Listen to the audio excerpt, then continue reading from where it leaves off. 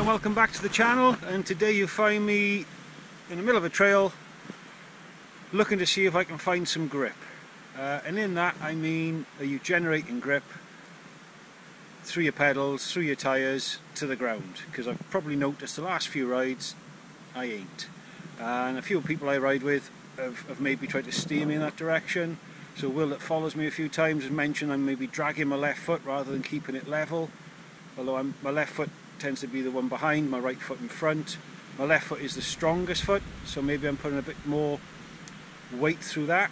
Uh, but what I tend to be finding, since I certainly since I switched up to the 29, I'm going that bit faster. I'm I may be doing steeper, chunkier trails, uh, and for that purpose, I'm tending to keep my feet level, heels dropped, and just kind of riding through the chunk, if that makes sense rather than look at the trails and picking my lines and you know heel down bike body separation lean the bike in get your body over the bike dig in on the corner knobs etc etc so I've just you know, I had a few little uh, videos. I was doing a head cam uh, on this very same trail the other day and I noticed my knees staying level hence my feet staying level.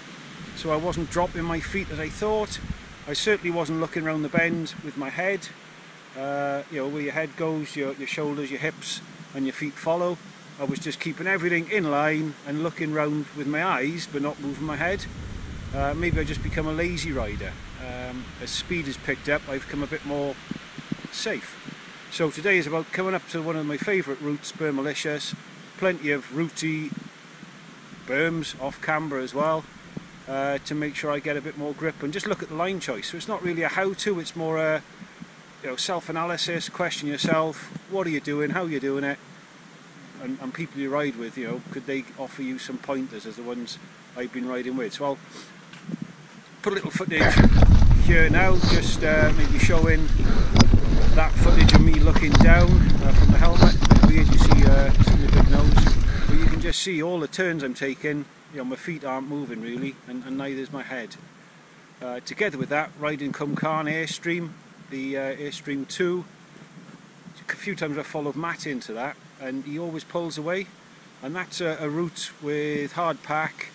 There's berms, there's jumps but there's a lot of flat turns and equally I noticed I was keeping my feet level all the way through and not creating grip and, and pushing through the bends and generating speed coming out.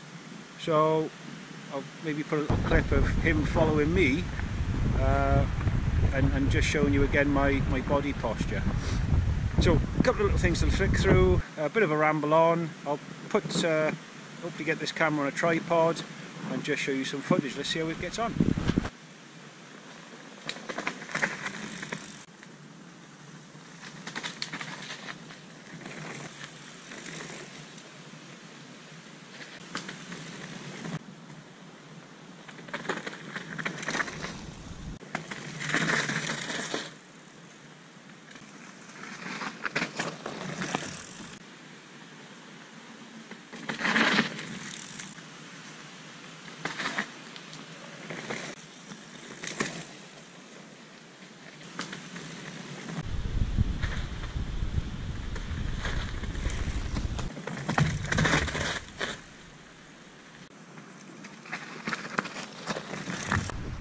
So thanks for watching, appreciate your time today. Uh, it's not meant to be a how-to, it's meant to be a do you, I suppose. Uh, just make you stop and think if you're looking to improve.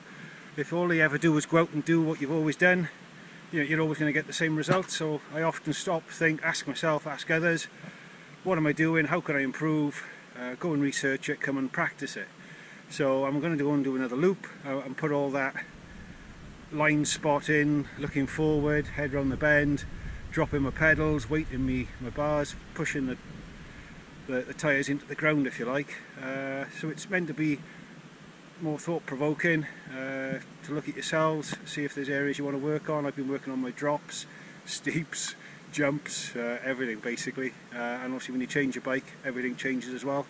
I've probably wrecked two or three pairs of shorts now, buzzing me bum on the back of that tyre.